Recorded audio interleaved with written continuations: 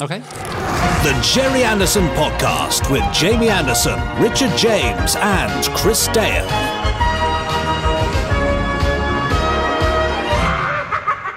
Hello, hello, hello.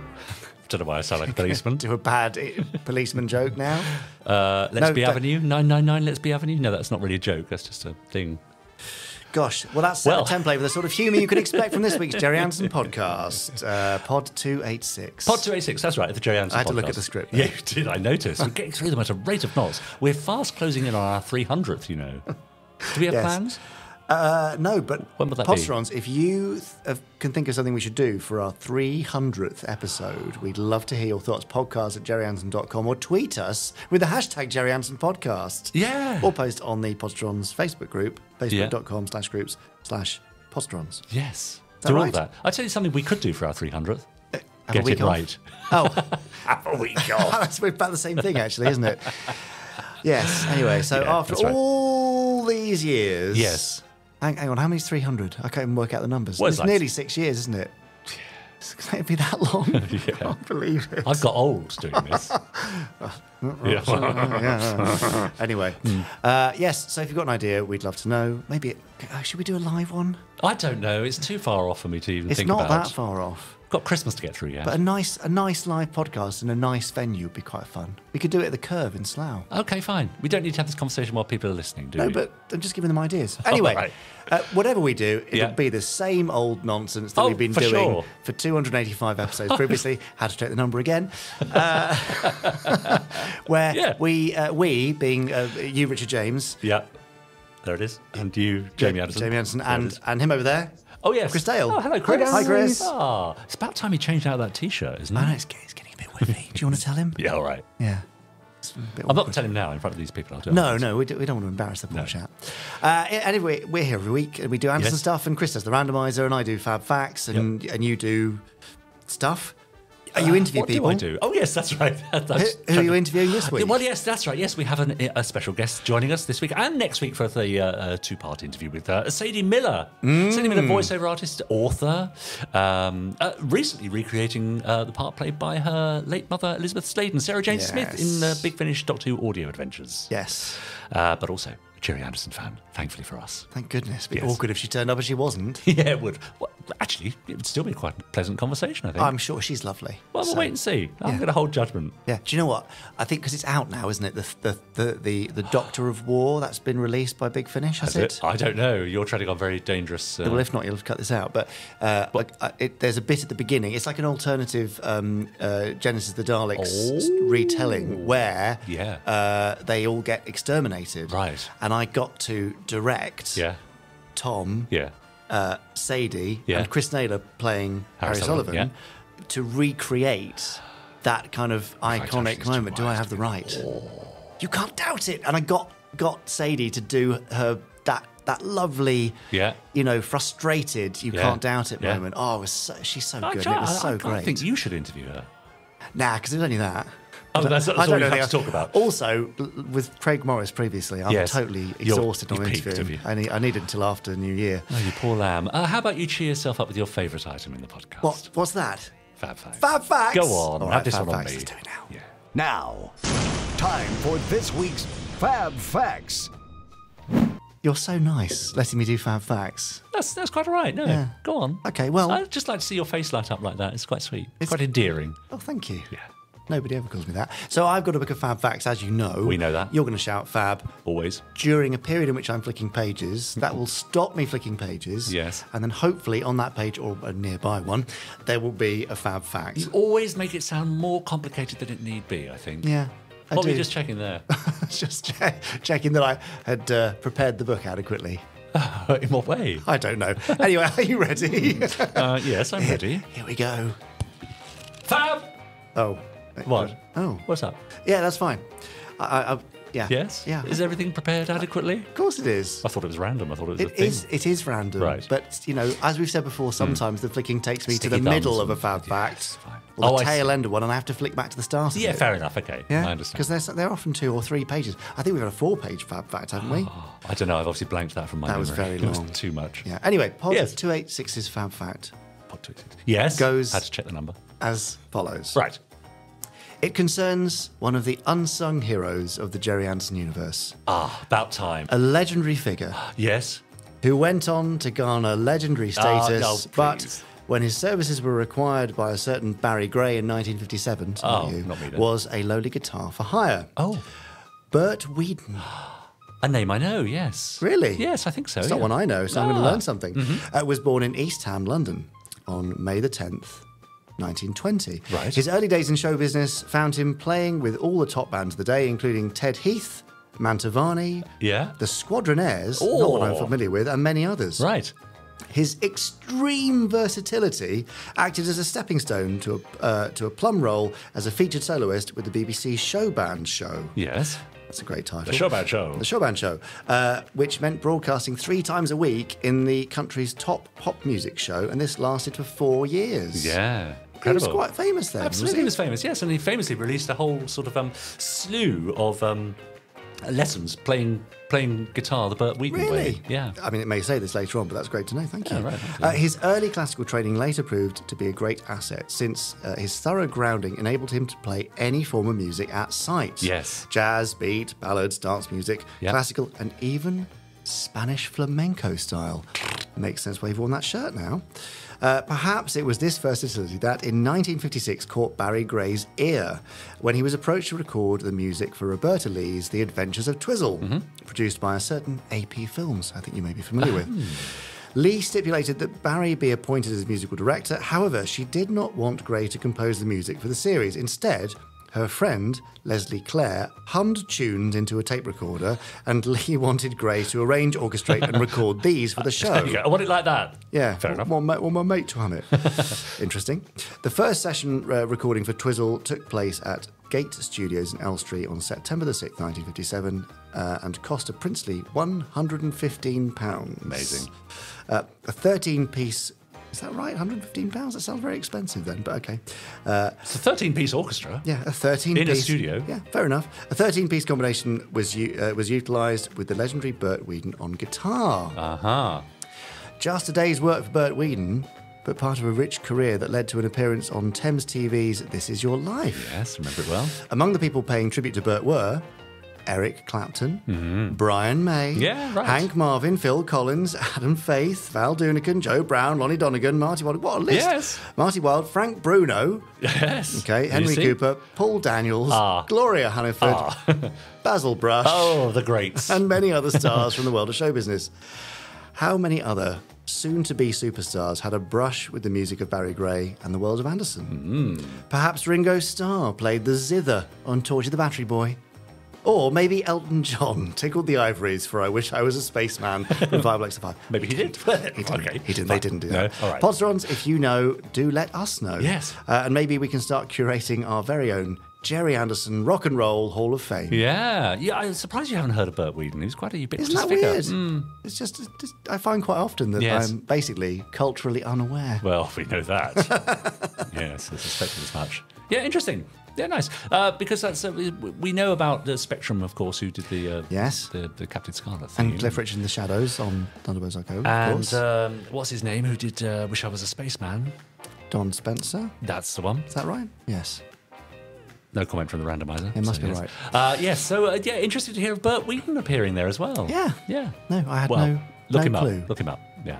I think he died around about the same time as your dad. I think about 2012, 2011, something like that. Yeah. Okay. Yeah, yeah. Well, thank you. So- I mean, this is a lovely lesson. There you go. See, you learn things from fat, fat, Fab Facts every week, don't That- you? Easy for you to say. Oh, well, it's not clearly. yeah, great. you were, very you actually seemed quite interested there. Well, uh, yeah, I did quite like that one. it was two weeks in the trot when you've been happy. brief. That's why. It was, it was still a two-pager. Was it? Hmm.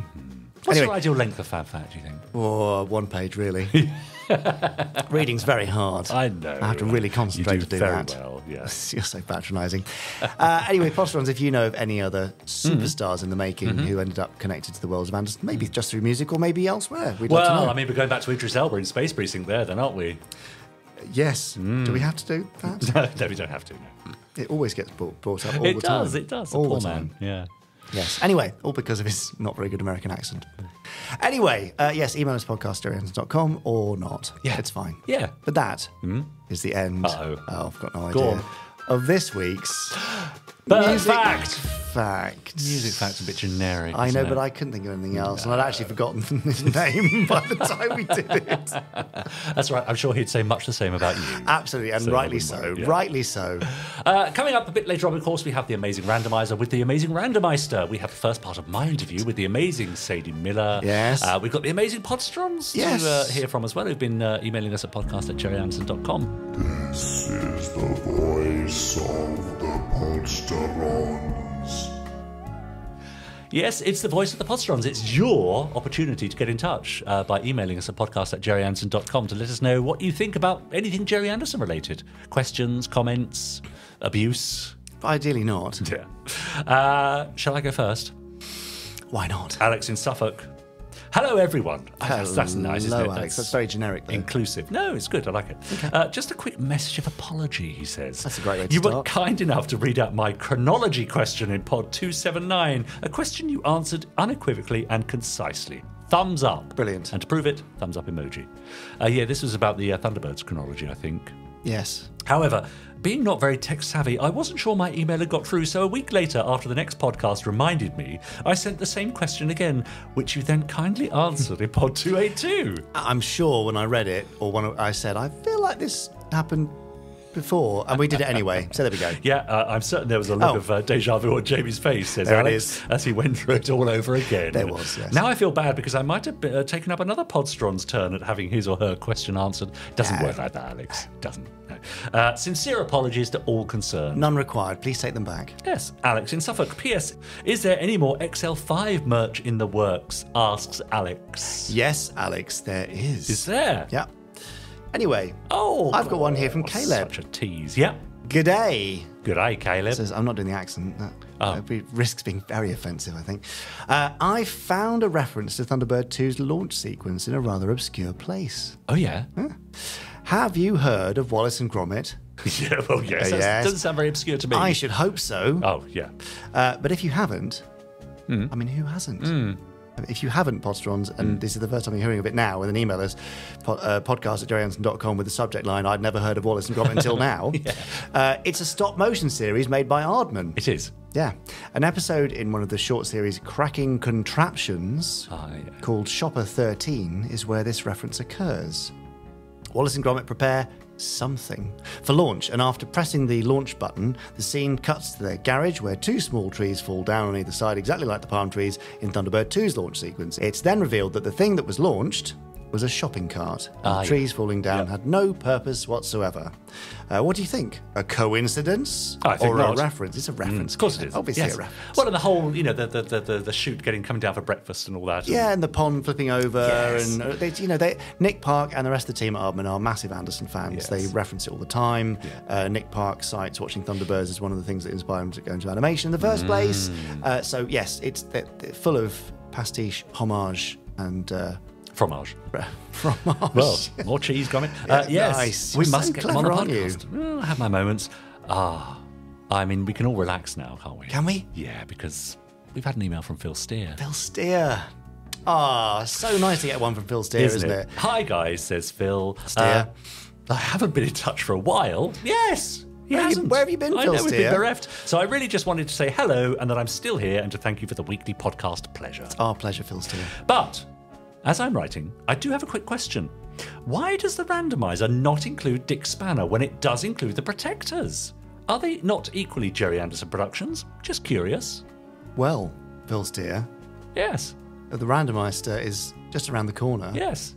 What, what's going on with Dick Spanner, Randomizer? Well, it is in there, but I'm doing the um, two two part compilation version. Ah. So I did one of them I think back in pod twenty something. So that that was a two part. There. There you go, Phil Steer. It's actually not Chris's problem, it's yours. Yeah, no, no, no, no, no. Also, he goes on, with your heartfelt pleas for all Podsterons to subscribe to the podcast, I just wonder if your stats give the true picture. For example, I listen and, of course, subscribe via Pocket Casts. Would you see that in your stats? I don't mean see me specifically, says Phil, but do you see any Pocket Casts subscribers? It may be that you have a much higher proportion of subscribers than you think. We don't get any data from Pocket Casts. No, we only get data from the big ones uh, Apple, Spotify, now we're going back. uh, a few others. Yes, Oh, I see. but still, you know, it all helps. Thank you. Yeah. Uh, in a similar vein, as a Pocket Casts listener, I am unable to leave a revating. I say this not to defend myself, although yes. many podcasts ago you did uh, question why there was no revating from me, and strongly suggest it would be better for me if there were. Yes, that sounds rather threatening. I'm sorry. No, we that. didn't do that. It was encouraging. Ah, fine. Uh, but again, perhaps there are others like me who might wish to leave a revating but are unable to do so. Well, you can still do it. There's a there's a there's like an IMDb for podcasts. Well, as we discussed last time, you can hmm. leave a review or a hmm. rating on our. I- on our IMDb, IMDb, yeah. page. But there's also another one, and the service name I've completely forgotten, but we'll tweet about it or something. Yes. and that it is essentially IMDb for podcasts, and you can leave a, a rating there. Fine. So, Phil, there are plenty of places you can do it. There you go. Uh, but he concludes, so be encouraged. I'm sure most of us have subscribed and would leave a revating if we could. Well, anyway, enough of my wittering. All best wishes to you and all the Podsterons. Phil, brackets, Steer. Thank you, Phil Steer. It's Thanks, always Phil. nice. Yeah. And now we can look forward to a Phil Steer revating on all platforms because Right. now Phil Steer knows that Phil Steer can leave a Phil Steer revating. Thank you, Phil Great. Yeah. Look forward to it. Good. Uh, I have an extremely compact one. Excellent. Jack McMorrow. Yes. Or maybe it's Jack MC Morrow. I don't know. Oh, right. There's a down the space there. Yeah. Uh, could we get an SSC to complement the SPV and Angel Interceptor? Says Jack. Right. Could we? Uh, probably. Are you going to um, just explain all those acronyms for those of us who aren't? Uh, no, I think it's quite Fully. fun to leave them uh, unexplained. no, uh, Spectrum Pursuit Vehicle. Yeah.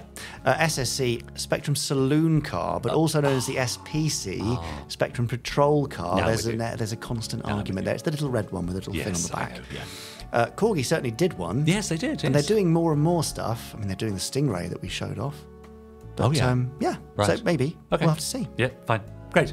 Uh, all for now. Keep them coming in, as we always say. And you always do, actually. I mean, it's almost like I don't have to ask. Why'd you bother? But, well, the week I don't ask is the week we don't get emails at that'd be embarrassing. Then what do we do? We We'll have to make them up. We just hand straight over to Chris and the randomizer at the beginning of the podcast. Well, many people would love that. Uh, podcast at jerryanson.com. Send us your comments, thoughts, reviews, anything you want, really. And, Hmm. um, you know, if it's appropriate, we'll read them out. they mostly are. Have we had any inappropriate ones? What, read out? Uh, no, no, not read up, but Yeah. there was that one. oh, remember that one. D- I don't want to talk about that. No, with I the think- links on it. I think the court case is still pending, The, isn't it? yeah, very awkward.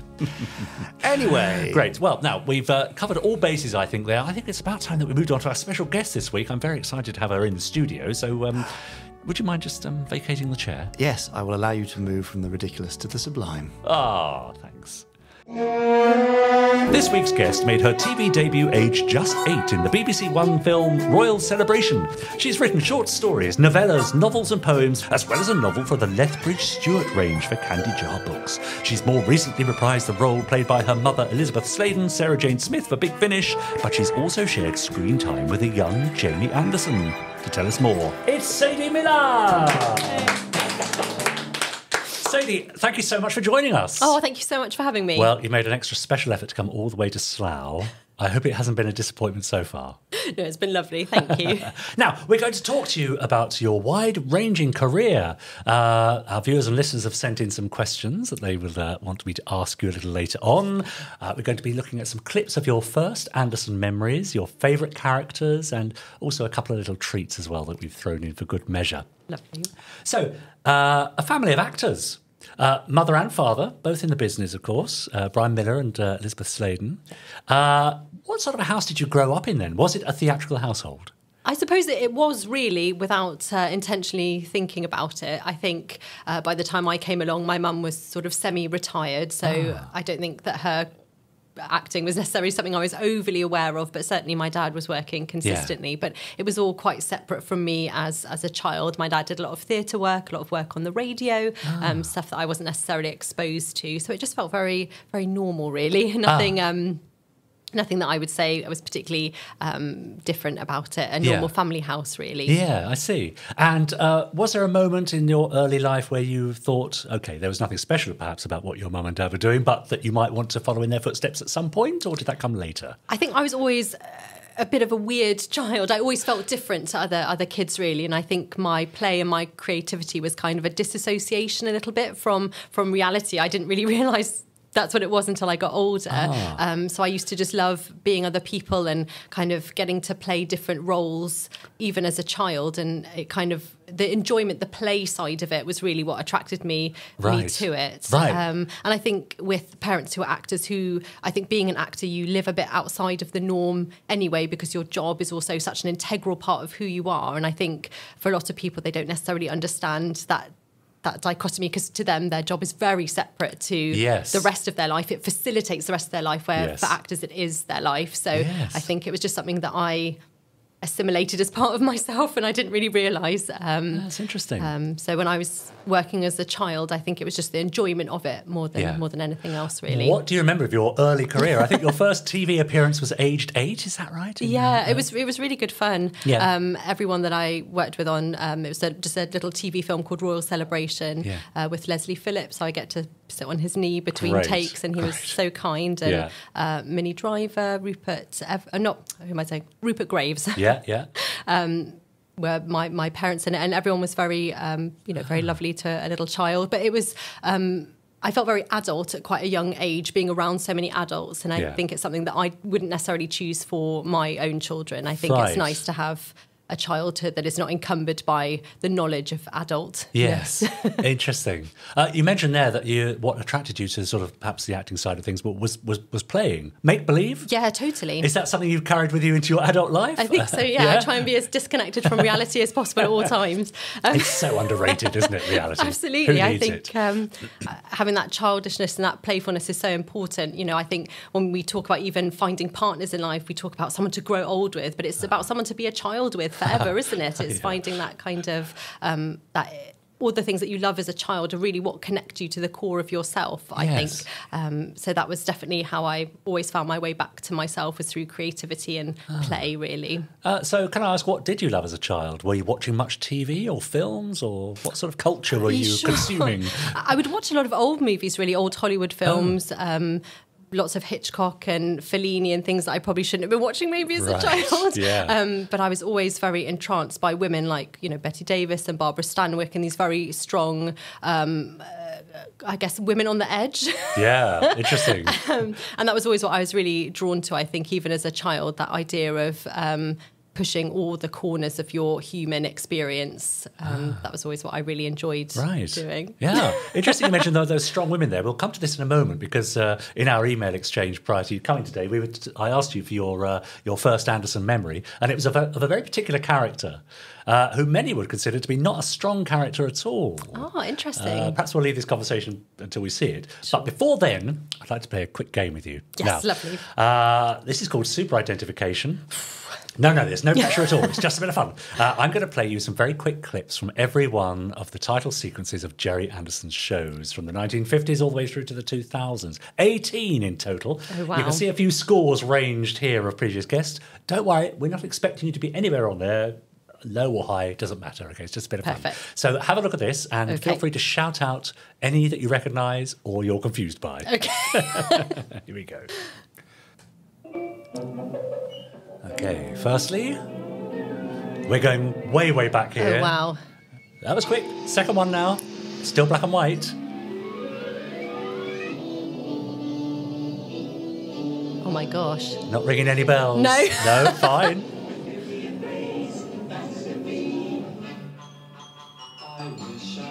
Still very early days. Space 1999, maybe? Oh, hold that thought. Oh. Now here's one. Oh, yep. Thunderbirds, of There's, course, there's, yes. your, there's your first ticket for free. Very quick, and on to the next. Hmm. This is a, a rather curious piece. No. And into live action now in the 70s. Oh, wow. Robert Vaughan Oh. and Dog. What did you mention earlier? Oh, Space Got 1999. it. This is an emergency. into the 80s now. Very popular with students, this one. Gosh, it's too fast for my brain. Very, very quick. We're almost there. Cross the universe. And finally, Gosh. there we go. I know, I That's- know. that's my- I know. They come at you hard and fast. Gosh, I can't believe someone got all 18. They did. I can't believe that Gerry made 18 TV No, series. neither can I. Gosh. Can you imagine that? Just getting one off the ground is yeah, difficult yeah, enough. yeah, amazing. Uh, I mean, I'm sure you won't be surprised to know you got two. Me. Two is okay. Two is better than one. Uh, so look, there's your score on your rather fetching uh, oh, thank you. very own Thunderbirds doll that we'll put on the table a little later on. Uh, so obviously not that familiar with Gerry's work. I mean, I know you are familiar to some extent Mm-hmm. because you've uh, given me a few heads up of some things that we can look at later. Uh, but uh, so, what does the name Gerry Anderson mean to you, if anything at all? Obviously, not very much as a young girl, but did you ever become aware of things like Thunderbirds? Can you remember when you first? Yeah, definitely. I, I remember watching Ah. Gerry Anderson TV programs growing up, but I don't think I necessarily was a fan. So in my brain, I don't think it's cognitively logged them as, oh, this is this particular character from this particular show. I think the uh, the look of Gerry Anderson is so definitive that you can see a clip and know that it's Gerry Anderson, Yeah. puppetry, puppet work. Yeah. Um, but for my brain, not necessarily from. Yeah. Which particular shows? I think for me as well, not being particularly sci-fi Ah. minded as well. Maybe I don't know. Well, for a young girl who was happy watching Fellini films, I can imagine Maybe the world's not. of Gerry Anderson. so what's the one that he did with Robert Vaughan then? Uh, that's the Protectors. Oh, so that's not sci-fi. That's a sort of a Ah. bit of an outlier in that the project was brought to him rather than him producing the project Oh, from interesting. scratch. If you see what I mean. So yeah, that's uh, it's more of a sort of a, a, a, a spy adventure series from 1970. Chris. One, two, three. 1971 to oh, three. wow. Uh, but yes, Space 1999. You uh, you you did remember, and you mentioned that early on. So that's obviously a name that was sort of floating around. Um, I think it's also because of a Big Finish connection because they do course. Uh, audios, don't That's they? right, Big Finish and? Yeah. UFO as well, Yeah. which was another one up there as well. Yeah. Ah. Uh, so you have children of your own now, I believe. So what are they watching? As as how old are they? So I've got two little boys who are four and seven, Right. and f- I think the way that children consume media now has changed so much, and they prefer to watch other content created by other children. Really, so they watch a lot of children's YouTube and really and that- created by other children. so obviously you know parents behind it and Sure. stuff but they like watching other children Wow. um, playing games or opening toys and that sort of thing to kind of connect with their their peer group much more so than even film you know we'll go to the cinema and they enjoy that experience but they're they're much more interested in the immediacy of how it's Hmm. kind of connects to them rather than going into a fantasy land and being drawn into something otherworldly i would say from my experience Yeah, with my and, kids and how do you view that? Is, do you view that as something of a shame, or is this just you know every generation is different and moves on to other forms of media, and we've just got to accept that? I think it's just the way that the world is changing, really, isn't it? I think so much of our real life is transferring to being online that I think it's natural that children would project and see a version of themselves online, and that's how they would. Um, envisage them i guess as kids when you watch shows when you watch films you're kind of envisaging yourself as an adult aren't you to some degree oh Yeah. maybe this will be me maybe something will happen to me and when they watch other children and you know going on holiday somewhere Yeah. or uh, playing a game that they want it's it's almost that forward projection i guess Yeah. um, but it has more immediacy because they're seeing another child of their age do it so i guess it's just um, I think as they get older, they'll probably appreciate different TV and film. Um, but at the moment, I think the ages that they are, they prefer their own peer group, really. Yeah, no, that's interesting. The way, the way it's evolving and the way children are absorbing media Hmm. Yeah, rather definitely. than sort of watching it appointment to view has gone. I mean, that whole idea of sitting as a family around a TV to watch a program is sort of pretty non-existent now, isn't it? a way? Yeah, I think that's a shame. I definitely do feel that. I mean, I used to watch a lot of these more adult films because I was watching them with my parents. Whether, whereas my kids now, even at four and seven, they don't want to watch the same thing as Yeah, each other. So there's no chance of of all of us watching something together. Yeah. Um, I think the only film that we've ever all watched together is probably The Wizard of Oz. So they do like older, Yes. older cinema, and they do connect to that. But Yes. uh, yeah, I guess. And as a young girl from a you know a, a- a family that was in the business and uh, moving into the business yourself, were you watching TV from an insider's point of view or an outsider's point of view? A little bit of both. I think obviously people ask me quite a bit, you know, did I enjoy Doctor Who when I was a child? And I think one of the reasons I didn't was because I would watch with my mum and she would obviously be commenting on everything and oh, this Great. person is this, that person did that. Oh, God. you know, so you sort of start to disconnect from it a little bit. Yeah. Um, so I think it would depend really. And I think if you have parents who are actors, it is impossible to watch anything without them saying, "Oh, I know so and so." You know, Yes. trying to watch Jurassic Park. Oh, look, there's Bob Peck. You know, you know, I, I just that's it kind of breaks the fantasy a little bit. Yeah, But uh, yeah, that's right. Yeah, to an extent. Uh, you mentioned you brought up the, the sort of um, the science fiction world there. that has sort of held no interest for you as a child, but it's a, a world that you've kind of finally had to embrace. Not had to embrace, you chose to embrace. To. Uh, so are you happier within that world now? I think so. I mean, I think for me, when I say science fiction, I think of it in a very purist way, where it's, uh, you know, um, little green men with three heads. you know. Carrie John would say. Yes. Um, whereas I think with say with Big Finish, a lot of the sci-fi is wrapped up in um, something bigger than that. Like say, you know, Michael Crichton talking about Jurassic Park Yes. just moments ago. Yes. That idea of how. Um, you know, science fiction can shape our society and how it can actually involve, you know, going back and forth in time and Yeah, yeah. Uh, replaying history. So I think there's so many different components to it that as a child I uh, wouldn't necessarily be aware of uh, com- coming under the umbrella of science fiction. Yeah, yeah, absolutely. Uh, now it's time to have a look at your first Anderson memory. Then you chose a rather specific character and a rather specific song. Uh, so let's have a look at this.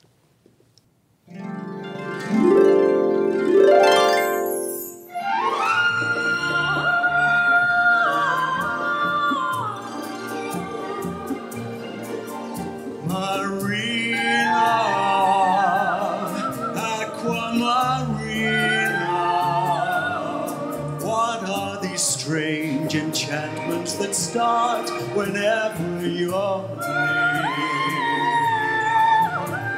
Marina, Aquamarina. Why can't you whisper the words that my heart is longing to hear?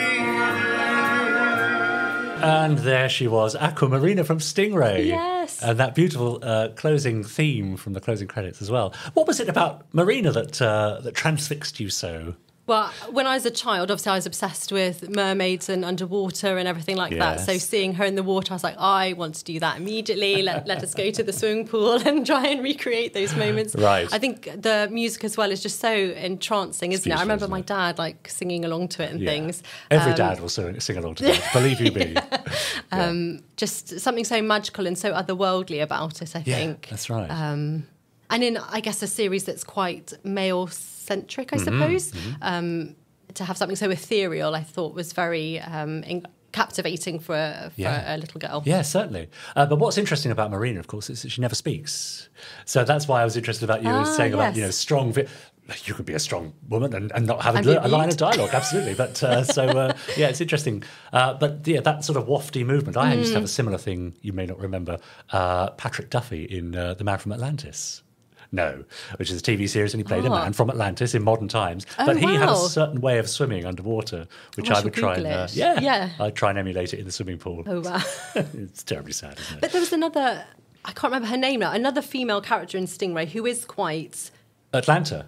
Yes, the the daughter. Yes, the daughter of Commander Shaw. yeah, and yes. so she was. I always remember she was quite in charge and Right, knew what was Exactly. actually going on. Yeah, yeah. So you Yeah, still got right. that strong feminine yeah. energy. Yeah, absolutely. Did you ever have a Marina cosplay outfit like you would do these days, of course? No, I didn't. I, I think cosplaying now is amazing, isn't it? Just fantastic. Yeah, absolutely. Well, I mean, I have to mention your recent picture on Instagram Oh. that seemed to take the world by storm. Uh, would you like to explain?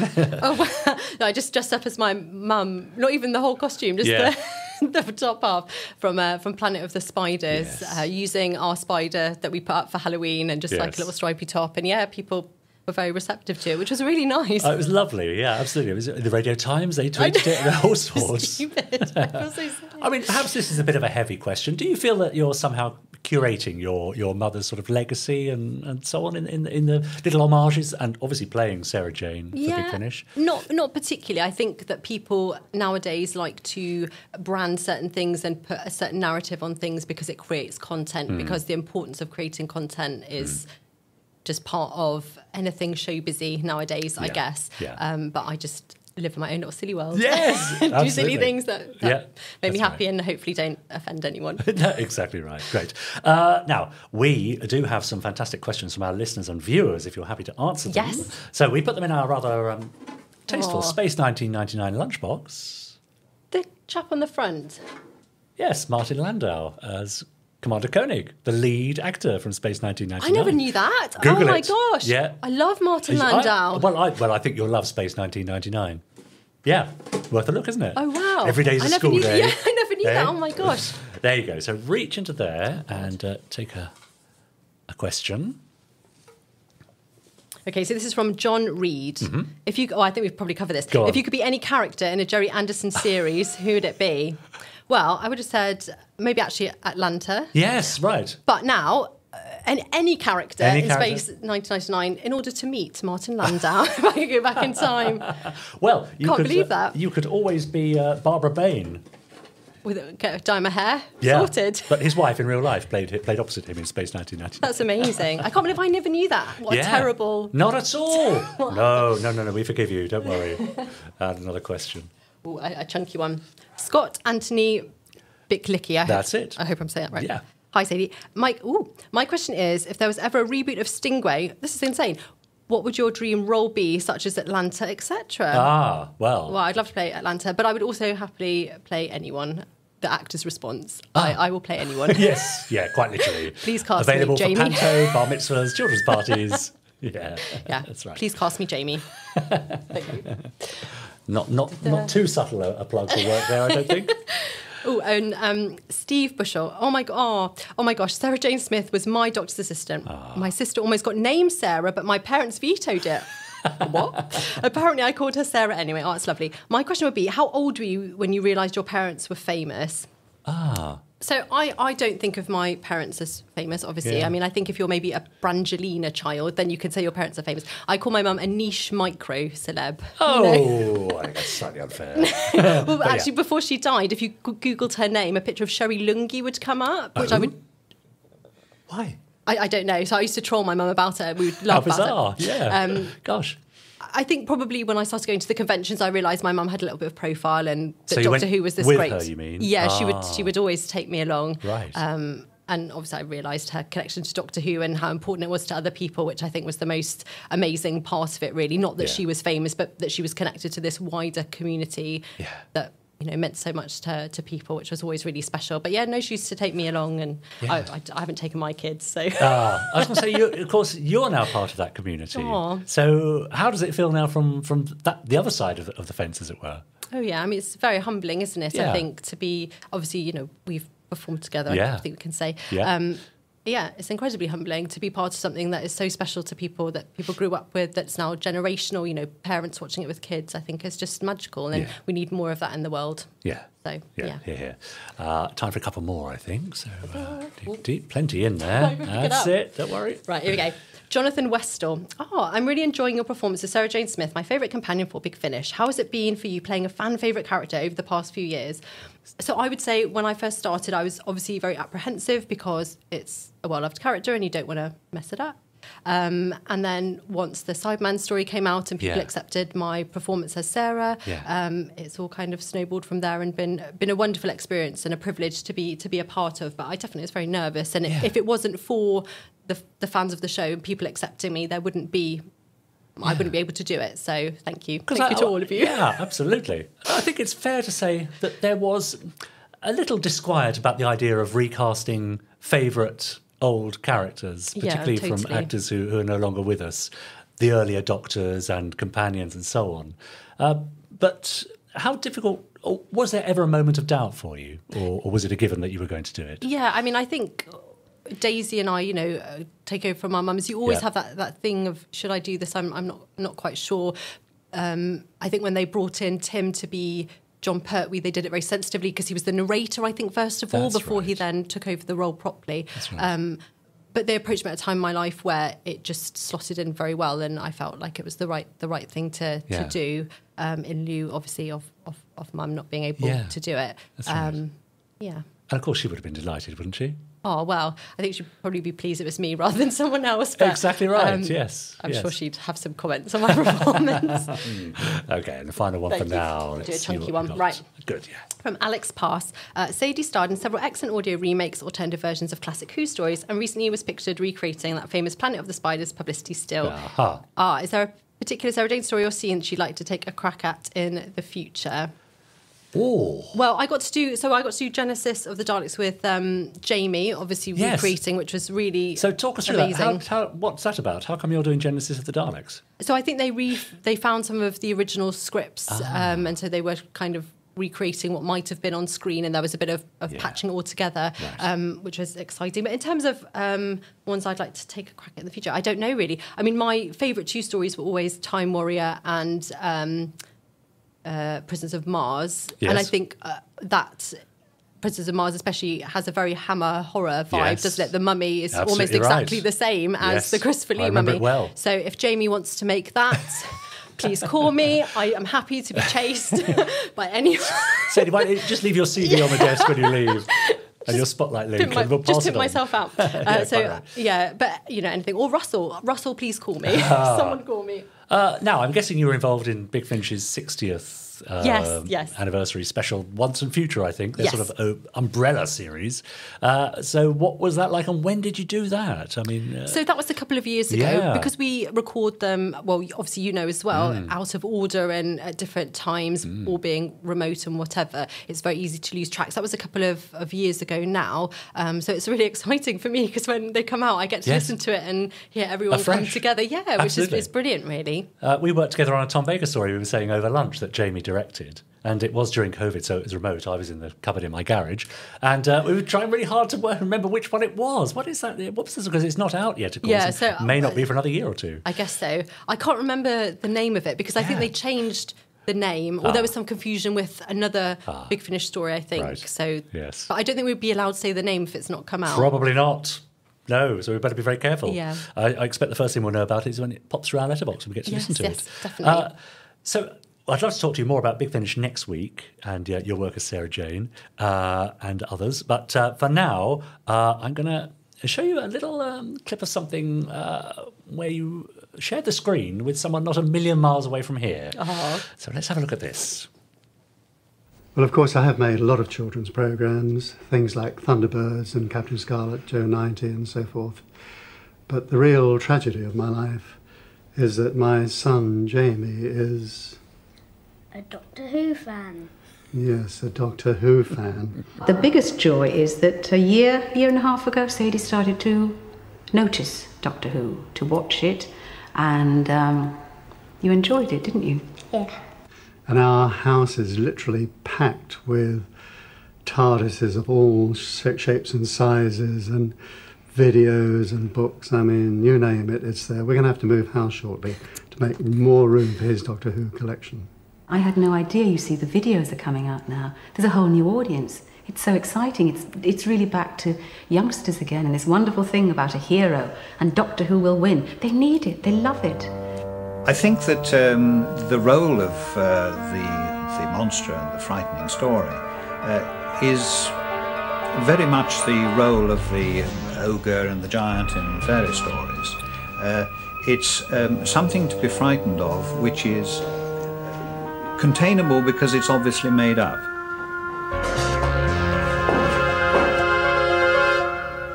A child can um, uh, accept a monster when it's quite clearly not something is going to meet round the corner.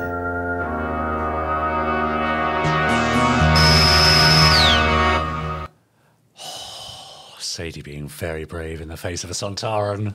Well, I got to do a really big scream, and, and then they cut it Oh, out, which I, I remember being very cross about. Um, Yeah. But that poor that poor actor in that Sontaran costume, Yeah. I remember like mucking about that mask and tweaking his really? nose and just Oh, being a he loved you. terror. oh, So that's uh, more than 30 years in the TARDIS, a documentary celebrating more than 30 years of Doctor Who, uh, with you and, and Jamie. oh, lovely But, Jamie. but you say you never met on the day, of course, because it was filmed separately. No, just chatting with Jamie before, I totally thought he was the other kid. I didn't even realise that that was Jamie, which Yes. is ridiculous now Well- watching it, where it literally says on the screen, Jamie Anderson. That's right. Oh, but it's lovely. Yeah. Which sort of brings us to a question, you know, thinking of Jamie and thinking of you uh, in your in your position and the careers that you've chosen to to, to follow.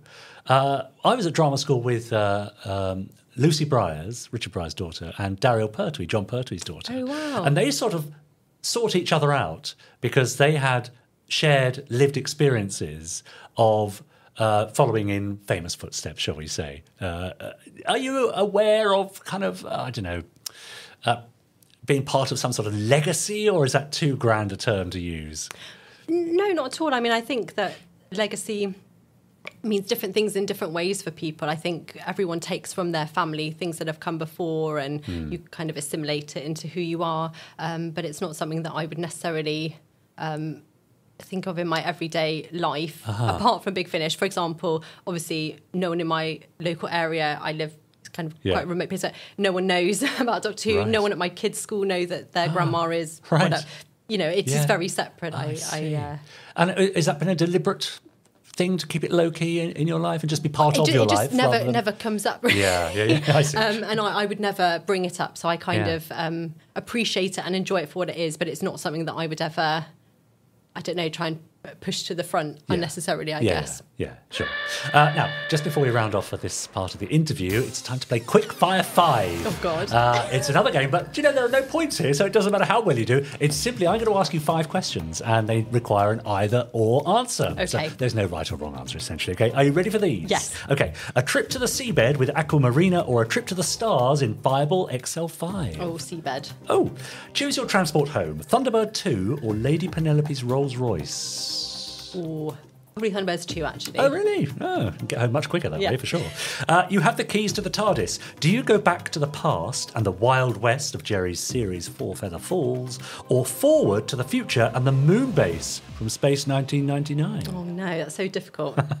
I'd have to. I'd go for Martin Landau. Uh, would you? yes. Not sure what Barbara Bain would have to say about that, but okay. Uh, choose a pet. You can choose Oink the seal from Stingray or Mitch the monkey from Supercar. Oh, uh, oink. And finally, the agents from Spectrum in Captain Scarlet are named after colours. So choose yours from the Dulux colour range. Are you Captain Apricot Crush or Lieutenant Mineral Mist? Uh, mineral mist, I guess. I knew you were going to say that. Well done. That's your quick fire five. Oh, I told you it'd be quick and painless. There you go. Uh, so all for now, but uh, just in case there are any viewers or listeners out there who might want to follow you on social media, are you active across any X or Twitter or Instagram that you're happy to Oh, share yep. with us? Um, so my Instagram is at Sadie Miller Writer VO. Yeah, great. a okay. nice long one. Got all that? Um, and then I think from there you can get to Threads. Oh, I'm yes. not on X anymore. Okay. Just Yeah, I see. Yeah, had enough. Been there and done it. Okay. well, Uh, thanks so much for joining us Oh, this week. I hope so you'll much. come back next time to Slough and join us once more. Thank you so much. Look Thank forward you. to it. Thank you, Sadie Miller. Sadie Miller. Ah. back next week. Yes, I just have an image of her in her red and white stripy dungarees. Oh yes. And did you see that fantastic picture of her as uh, uh, as her mother from the Planet of the Spiders that she posted yes, Halloween? Halloween, lovely. Yeah, it's so nice, isn't yeah, it? it is. Uh, more from her next week about her Anderson memories, and I think we'll be talking a little bit more about her Big Finish experience as well. Good. It'll be nice, won't it? Great, she's so nice. Uh, meanwhile, over on our Facebook group, does it need saying? Facebook.com forward slash groups forward slash podsterons. Certainly not like that. No, no, that's right. uh, anonymous member. I didn't know you could post anonymously. Oh. Fair enough. Uh, double dose of Anderson. Thunderbirds returns to Australian screens on 9 Gem, 6am Saturdays in half episodes, and still the 2001 transfers. This morning was followed by Adventures in Rainbow Country with Atlanta herself, Oh, says anonymous member. thank you, anonymous member of the member family. Is that the Norfolk members, do you think? Yeah, that probably is, yeah. Yeah. And then Clint Nichols says, just noticed this in the catalogue for the prop store auction on the 9th of November in the UK. A bit rich for me. And he posted a link to um, Lot 100, I think, which is a Captain Black head with replica body and costume from the Captain Scarlet and the Mysterons TV series. An original Captain Black puppet. Uh, and he posted a picture with the estimate beneath. How much do you think? Well, what would you be willing to pay for an original Captain Black head Well, and replica body? I mean, many years ago, Yep. I think Dad sold uh, an original Parker Yeah, head with yeah. a with a with a fixed body. Yeah. And back then, I think that went for thirty thousand pounds. Oh, But then okay. there's the old inflation going on. Sure, there? sure, but that's a pretty ballpark figure. yeah, at least at least double that by now. I would Yeah, say. exactly. Yes, Yeah. but the estimate was between sixty and one hundred and twenty thousand pounds. Hundred and twenty thousand pounds. I mean, heck, yeah. If you had it, would you? Buy it? Yeah, if you had the money, would you? No, because I think it needs to go to a collector who really, really wants to have Captain Black in their Mm, collection. mhm. Fair enough. And that's not actually not me. No, no, but you could buy it and then sell it to them for a much inflated price. That would be a terrible thing to do, Richard, and I would never do such a thing. Anyway, moving on. Adrian John Heath posted I was just watching the latest edition of the Late Break Show on YouTube Hmm. and noticed Johnny Smith was wearing a Joe 90 t shirt. Is he a fan? Could he be tempted onto the podcast? Okay, right. Well, there's one for my list. Johnny Smith and the Late Break Show. I'll have a look. Yes, uh, he's got a, he's got a very unusual Instagram handle, I believe. Remember? Fair enough. Oh, it's car pervert. Oh, right. Okay. I think. I All think right. it's car pervert. Fine. Anyway, d- don't go and search for that. Search for the late break show and then see if you can find out who it is. And then, yeah, I don't want to get you in trouble. No, and finally for now, Daniel Phillips says, because I normally drive vans for the Scouts, I'm usually in some Scout clothing of some kind when I drive them. Okay. So it feels weird driving them in your own clothes. It makes me think of when Virgil takes Thunderbird 2 out not wearing his uniform. Hmm. Also, uh, as I used my bike to get to the van rental place, as it could go in the back, that means it technically had a pod vehicle. Right. Living so the dream there. Daniel, you are Virgil. Absolutely right. Congratulations. Yeah, don't tell the missus though, because that was Charlotte's hot crush. That was Oh, really? Virgil. Yeah. Gosh. Hmm, saucy. Anyway. Yes, that's it for now. Uh, do join in the fun on our Facebook group. Uh, uh, post your pictures, post your comments, because I very often trawl through and mine it for content for Trawl the makes it sound like a real, uh, a real hard job. Oh, it's not at all. It's a pleasure. Pleasure and a joy. Uh, uh, happy trawling. Yeah, and also, of course, I do uh, mention their upcoming guests and uh, ask for your questions. So it's Yeah. a great place to uh, put your comments for future interviewees. Great. Yeah. Good. All right. Right. Well, from trawling Yeah. in a joyful way Yeah. to uh, randomising Yes. in an even more joyful way. okay. All right. Yeah, it's time for the randomizer with Chris Dale. Yeah. Should we just let him do his thing? Yeah. Go on then, Chris. Well, Sadie, thank you very much for joining me on the randomizer sofa today. I believe you have been briefed on what this machine here is. yes. Are you feeling confident that you can press that button and give us a good episode I am, today? yes. Okay, let's see what you've got. Have at it. Thank you, that's it. And is there anything in particular you would like to see come up on here today? Uh, I'd maybe say an episode of Stingray, Episode possibly. of Stingray. Yeah, see what we've got. oh, well, that was what uh, our previous guest wanted. He Oh, didn't get that. Oh, no. And it appears that you don't get that Oh, either. no, it's a supercar. It's Supercar. It's the first episode of the second series. It's the Runaway Train. So, it's time to welcome back to the randomizer good old Supercar with the first episode of Series 2. And straight away, we can tell that between series, uh, this general has, uh, has taken something for those very strange pupils, but um, we now have model effects being carried out. Um, this helicopter with a grab is uh, picking up a tank. That seemed easy enough. And, you know, it doesn't look amazingly convincing. I would guess that's a very basic tank model kit um, that somebody probably grabbed from Woolworths. But it's it's just a huge step up from from what they were doing in the first season in terms of effects. Um, and that leap from series one to series two of Supercar is is an interesting one because I, I feel certain areas like the effects they they did improve, um, or at least they were more willing to to try. Uh, perhaps it doesn't always come off. Oh no! Look out! Oh dear. Well, that's our 50p tank from Woolworths gone up in smoke. Yes, but it, it equally, um, know, we've improved with the effects. We're more willing to make advances, but there is uh, at times a step back in terms of some of the storytelling. Not always. Uh, this was infamously the point where the Woodhouse brothers, who had written most of the first season, were not invited back. Powerful enough. Dr. Beaker sure got himself a pretty important. And uh, Gerry and Sylvia basically wrote the remaining 13 episodes of the series. Sticks off Some stock footage there. Must be top secret, too.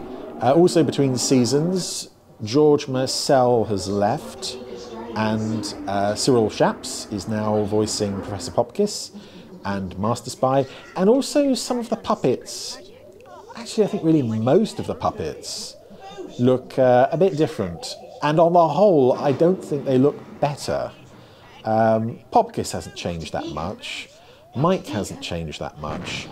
But Beaker and Mitch in particular, the eyes, the eyes are just not the same in the series two.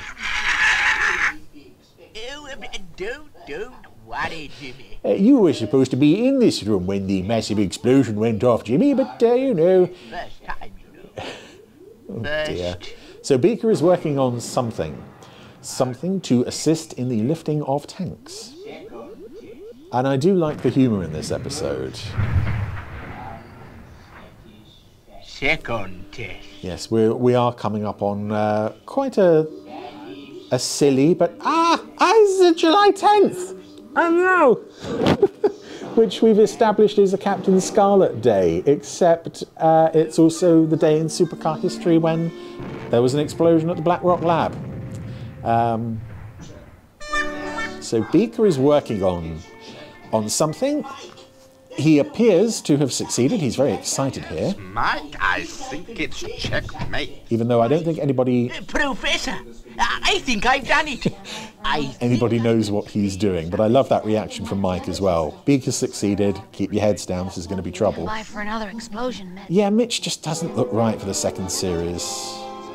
And also, this is the point where they started to push him more into, even more into comedy than he was already um, part of. So, I really like the first season, Mitch. He's, despite his, you know, annoyances, he is he is a useful ally to have around. Not so much in the second series, but Beaker has developed an electromagnet for supercar to assist with the lifting of tanks and uh, other heavy things. drawn towards the magnet. And as you see, the other end of the Hmm. cable is attached. Yes, so perfectly safe to turn on. Uh, because, of course, nobody in the Black Rock lab has any kind of metallic objects about their person. Ah, dear.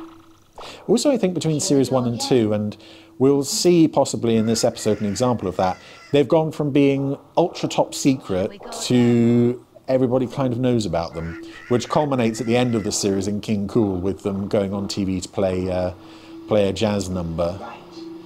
Anywho, the uh, magnetic power is building. Right. We're ready.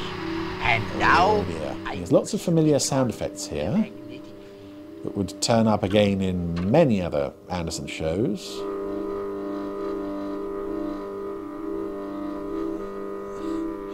Some nice um, body language in the mic puppet there. Wow, yeah, it was very impressive. Here we go, comedy time. Trousers come down, watch is off. It's a good thing nobody has like uh, a pacemaker or do do pacemakers have metallic components? Fillings might. Earrings. but Beaker just looks at the chaos and loves it. Ah, mm, satisfactory. Most satisfactory. I'll say it's satisfactory. It's proved that it'll lift over 150. It's one of my favourite Graydon Gould lines. That bit. Just, I, I said before, I always love the uh, reluctance and exasperation that goes along with being Mike Mercury, especially when Beaker's around. Uh, so that's just a lovely moment.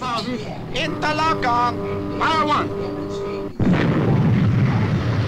Uh, Mike will soon be airborne, Colonel.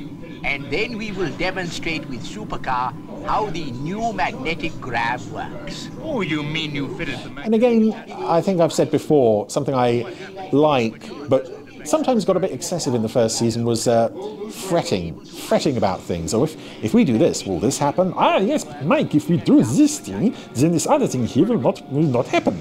And again, you have a little bit of it there with the general worrying about supercar. Again, this is something you never got in the first series because in the first season, I think in the very first episode, in fact, Black Rock Laboratory is a painting. I don't think you regularly see the outside of the building until the second series, um, which famously that is the model that turns up in the opening titles of Thunderbirds and gets completely destroyed. That's Dr. Beaker. Of course Whoa. it will. An excellent job, Oh. Dr. Beaker. An excellent I thought that was a sudden, uh, very sudden dip there from Supercar, which now has a tank attached to it. Through the sound barrier. Yes, don't you know by now that that is all this team does? Dangerous things. Dangerous? Well. Ah, there you go. Through, Danger is Mike's business. through the sound barrier. even if I do say so myself with a voice that isn't too far away from Mike Mercury. Sure is a great pilot. Ah, yes. And you, sure? Re-establishing uh, Professor Popkiss's uh, culinary skill. Yes, yes. Well, as I was saying, uh, Dr. Beaker, uh, we certainly are grateful. A new belt for your trousers. I will personally see to it that you are well rewarded for your services to the United States government. Oh, don't, don't mention it. Uh, well, glad to have been of service. Um, I will give you the plans so that you can build the device. Uh, perhaps in the next 10 or 15 minutes. It, uh, oh, there's an old uh, publicity photo of Beaker. I think that's from when he was making toast.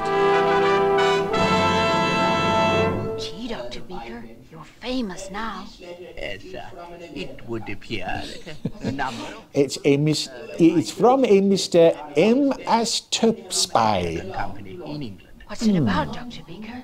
Oh, a new project uh, they are about to test. They have invited me But along. you're not to going. You mean we're going to? Uh, Yeah, so that seems to be the first time that the supercar team has got any kind of fame or public acknowledgement. And instead of being concerned about it, as they had been previously, now it's like, oh, great, free publicity. And another very cramped supercar journey. Legroom in that thing is just. I would have to imagine that Popkiss's knees are just under his shoulders. Under his shoulders, under his chin. I mean, technically they, they would be under his shoulders somewhere, but not immediately below. Sounds very interesting. Yes, very interesting. We should arrive in London. And in the stock footage of London, who do we find? Well, stock footage of Big Ben. yes, recognise these two figures. Good evening, I think, yeah, again, these two look like they've had some work done between seasons as well. Good evening, madame.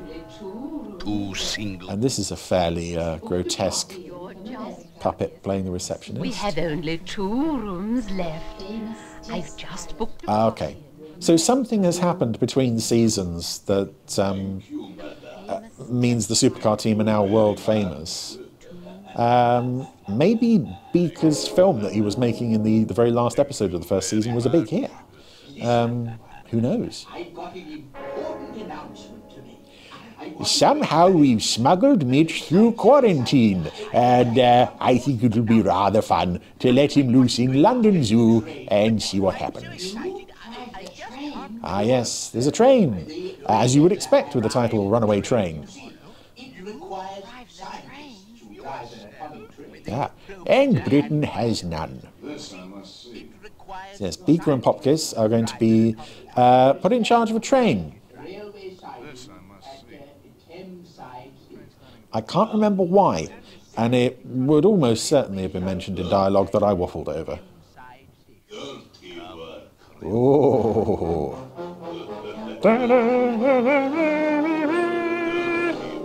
Yes, also between seasons, I think we lose some of the um, uh, library music, the non Barry Gray library music that they were quite fond of. And it's all Barry Gray now. Um, that piece of music turned up again in. Uh, in, in later shows, it was in it was in XL5. It's in Captain Scarlet. It's even in 1999. Quite surprisingly, it's in Collision Course. So that when they start the train tomorrow, they won't be able to stop it. And do you know who will be on board that train? Hmm. Trent Zarek? No, Master Spy. A very important person who has Oh, caused them. much trouble to the foreign government. Okay. So are they trying to kill Beaker Now then, specifically? if we file away the top of the screws, they will not be able to undo them. And then they will be helpless. So devious. Uh, also nice that there's no security on this train. Lots of stock footage this week, though. Uh, There may not be any more stock music, but there is stock footage. Ah, new atomic train. Okay. Great excitement at the station here today as we await the new atomic train's maiden journey. It doesn't look any different from a normal train because this is only a test run. The atomic engine has been fitted into a standard diesel electric And if not successful, uh, diversions will apply. new, modern atomic train for this run. The prototype having been developed by an American company. Well, Jimmy, if you felt that badly about it, why didn't you speak up beforehand instead of two minutes before the train is due to leave the station? Yes, for some reason it's it's Beaker and Popkiss who have been assigned to man the train. And this is a good example of I think Cyril Shaps is as much as George Murcell was an asset to this show, Cyril Shaps is an asset to this show. And it's a shame that he he never came back to do more voices. He was in one scene in an episode of The Protectors after this. I've always wanted to drive a train. Don't forget it will be my turn soon, Dr. Beaker. All right, The train's only just set out. Why do you need to look at the atomic reactor already? So you will be able to take over. Mike Mercury calling atomic train. Mike Mercury calling, over. Uh, hello, Mike. Beaker here. How's it going, Doc? Oh, fine, Mike. Just fine. Yes, I don't know um, the origin of all of this footage, but the shots um, from inside the cab looking straight ahead, this is from the famous uh, London to Brighton film that was uh, quite well known at the time. It was just a, a film of the journey, but I think sped up to like five minutes or something. So it's quite useful for, for this episode's purpose. Wow. Mm-hmm. Yes. I, I don't know, was Beaker involved with this project before, you know, while he was making the electromagnet? Was he also involved with the uh, setup of the train? You would think that the scientists who worked on the project, oh, would be involved with this. That's funny. Ah, Dr. Beaker, there is something could be a wrong. I cannot seem to reduce speed. The controls seem to have developed a mind of their own. and I don't think um, George Murcell and Cyril Shaps sound all that different. There is a definite, you know, change in style, but there's there's no real sort of like a good Popkiss and a not so good Popkiss. I don't know to what extent kids at the time would have been aware. Probably not at all, because uh, they would have been watching this one episode at a time. Say, Jimmy. The train hasn't arrived yet. what use are those papers going to be? Ah, oh right, yes. There's a, a Mitch bit coming up with the cards. Oh, Sabotage. It must be sabotage. Somebody has filed. off. so, yep, the atomic reactor on the atomic train cannot be serviced. It's a very sort of low-key discovery that this is uh, this has happened. Uh, what is our speed? But it's nice that Popkiss has finally uh, got some time out of the Black Rock lab.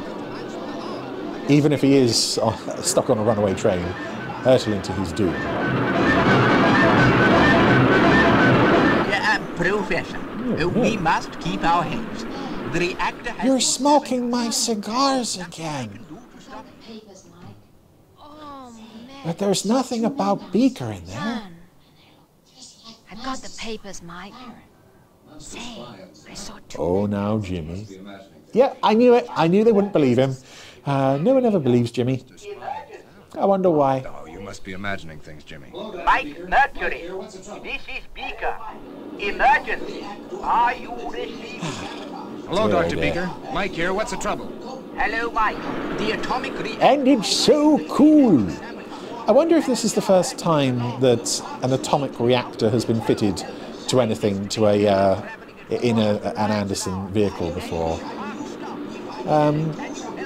Because we really have the beginnings of like a, a Thunderbirds rescue scenario here. Indeed, we saw it with uh, Brink of Disaster, a runaway train needing to be uh, ultimately rescued with magnetic ground. And I cannot examine it. Stand by, Dr. Sabotage. Beaker. I gotta think of the best thing to do. Roger. Standing by.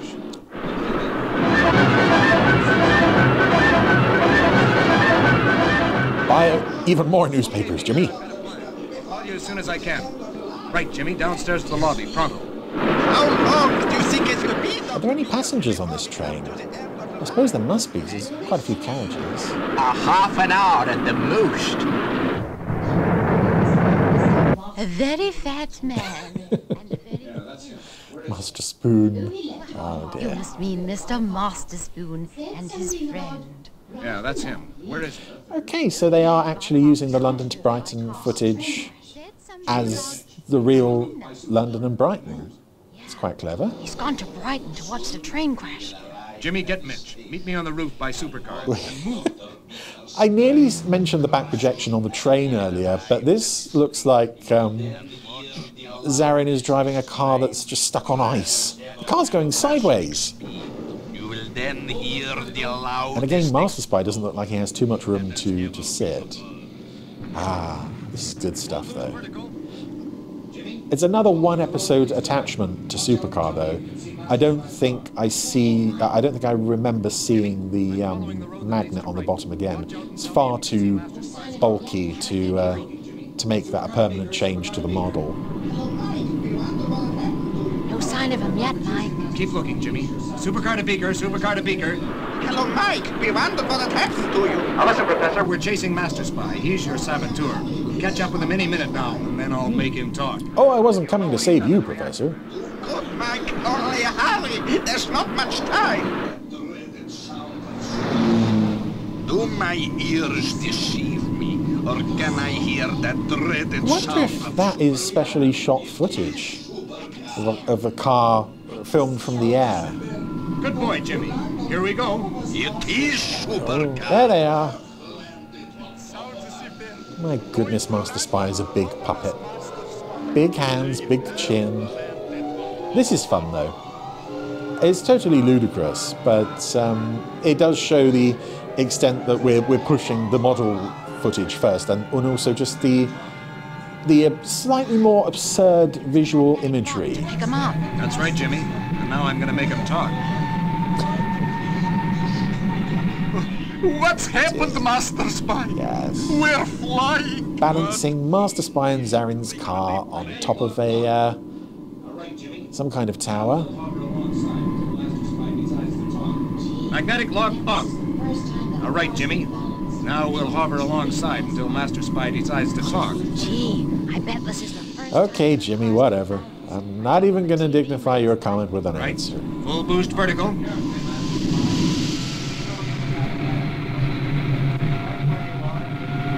Now listen carefully, Master Spy. We know you've sabotaged the train, and you're going to stay right where you Oh, are yes, until Master you tell Spy's us weight is causing the car to uh, rock backwards and forwards. Oh, I, li- I do like this as well, as silly as it is. Um, but they do know what happened to the train. They filed the heads off the screws. Mercury, I give in, but I cannot help you. Nothing can stop that train now. Absolutely nothing. I want to see him fall to his death, Mike. Must be. No, Jimmy, I don't think so. Oh. I believe you, Master Yeah, just leave him there. Why not? just to save your neck. I'll come back later and pick you up. Quickly, Master Spy. Poor Zarin. It can't be much fun being Zarin. With Master Spy. Supercar to Beaker. Master Spy's wrecked the reactor beyond repair. I'm coming up to try and stop the train with Supercar. I'll fire the Oh, thanks, Jimmy. I never would have found that without your help. magnetically locked on the roof of the train. There's the track over there, Mike.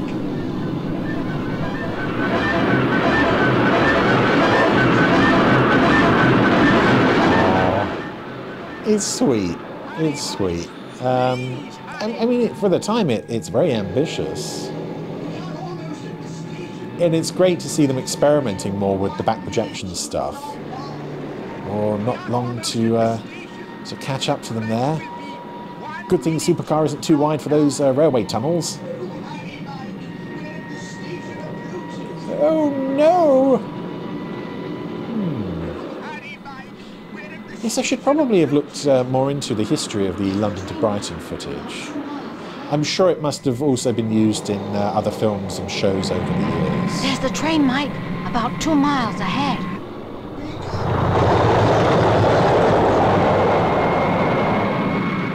Uh, ah, yes. That's um, obviously not a real train. That looks like, uh, again, possibly a, a train set that they would have picked up from Woolworths. But for a brief shot, it doesn't matter.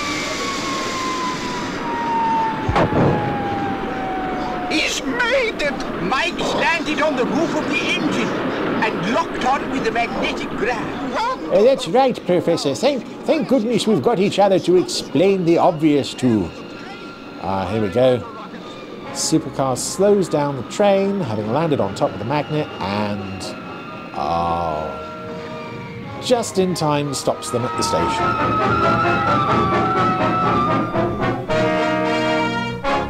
I love you, Professor. It did look quite close there. Would we do without Mike? Say, are you two train drivers okay? You sure gave us a scare. It's all in a day's work for Mike Mercury. Perfectly all right.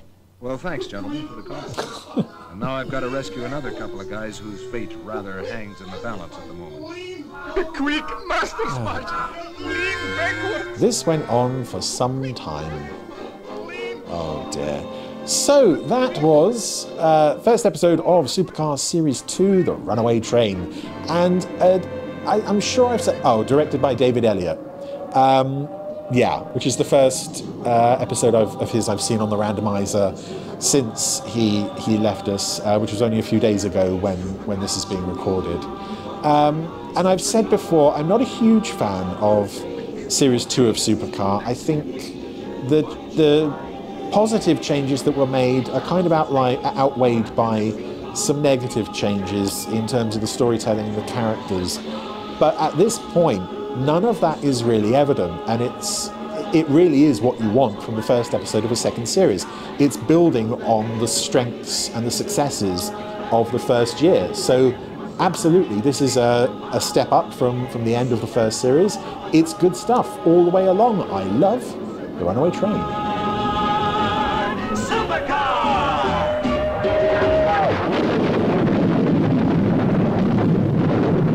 Supercar. Supercar. Travels in space, under the sea. Blah, blah, blah, blah. Supercar. Yes. It's lovely, isn't it? It is nice. I like a bit of supercar because, as you know, I do bear, it has been said, a startling resemblance. To Mitch the Monkey. no, obviously to Mike Mercury. In fact, if you uh, of everyone involved in the podcast, Yeah. who would play whom In what? in a live action version of Supercar? Oh, I don't know. Oh. Thought that was going to be a bit of fun, but let's move on from that. Podsterons, if you've got your own podcast team casting for a live action supercar, please do let us know who should play whom. I think I know where that's going to go. I Don't- do too. Don't exactly. be rude. No, quite. That's right. Uh, word in my ear tells me we were talking earlier about the uh, Captain Blackhead. Yes. Well, the, uh, the, the the auction was uh, a while ago now. Yes. It went for how much, Chris?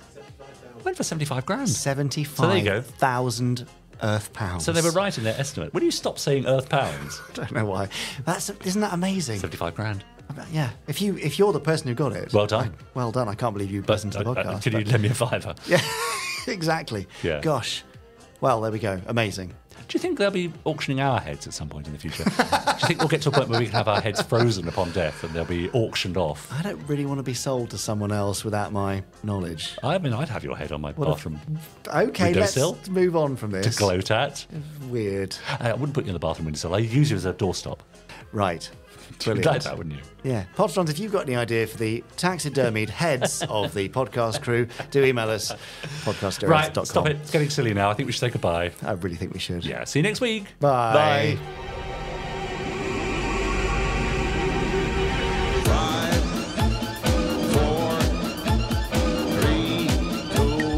One, one. Let's get started.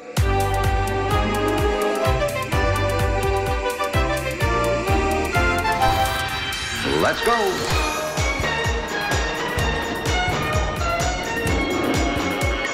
Spectrum is green.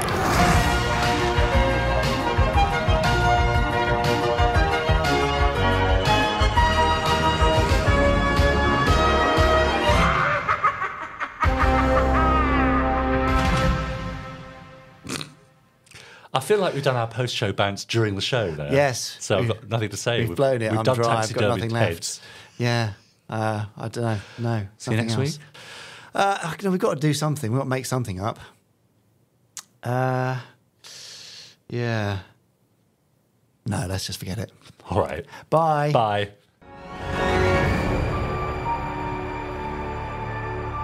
That was an Anderson Entertainment production.